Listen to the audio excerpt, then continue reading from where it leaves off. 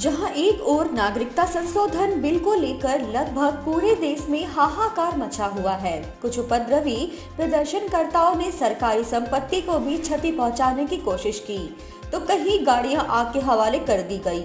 कल उत्तर प्रदेश की राजधानी लखनऊ में आगजनी की गई, जिसको लेकर प्रशासन को काफ़ी मशक्कत करनी पड़ी। लेकिन वहीं राजधानी लखनऊ से महज 80 किलोमीटर की दूरी पर जनपद रायबरेली जहाँ का माहौल बिल्कुल शांत रहा। जुम्मे की नमाज़ को लेकर रायबरेली जिला प्रशासन भी अलर्ट है। चप्पे चप्पे में तैनात सुरक्षा कर्मियों की पैनी नज़र है। खुफिया तंत्र ड्रोन के ज़रिए भी शरारती तत्वों पर रखी जा रही है नज़र।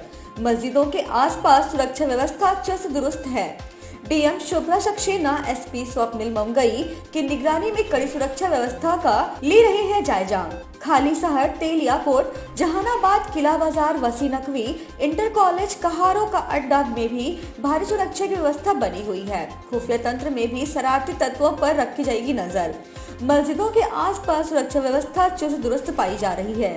देर रात एसपी स्वप्निल मंगई व डीएम सुबह सक्सेना ने मुस्लिम इलाकों का किया भ्रमण। एसपी ने कहा सुरक्षा व्यवस्था में जो भी खलल उत्पन्न होगा उस पर सख्त से सख्त कार्रवाई की जाएगी। रायबरेली से संवाददाता हर्षित द्विवेदी की रिपोर्ट। क्या तैयारी है अभी? जनपद में जितनी भी जगह आज नमाज़ पढ़ी जानी है वहाँ पर सुरक्षा व्यवस्था पूरी चाक चौबंद रखी गई है। हम लोग लगातार भ्रमणशील हैं। और हम लोग सिचुएशन पर नज़र रखे हुए हैं कि किसी प्रकार से अराजक तत्वों को माहौल ख़राब करने देने का इजाज़त नहीं दी जाएगी। और इसके रख हमारी सारी व्यवस्थाएँ पूर्ण हैं और लगातार हम नज़र रख के ये सुनिश्चित करेंगे।